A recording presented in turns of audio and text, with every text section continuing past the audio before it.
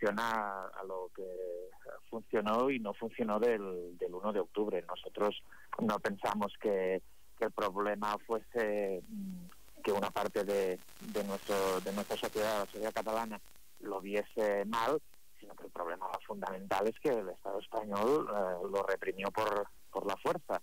Y, y ese es el motivo principal que nos tiene que llevar a, conseguir otro referéndum. Sí que es verdad que se habla mm, más ahora de, que como que aparca la vía unilateral. ¿Esa opción ahora mismo hay que descartarla?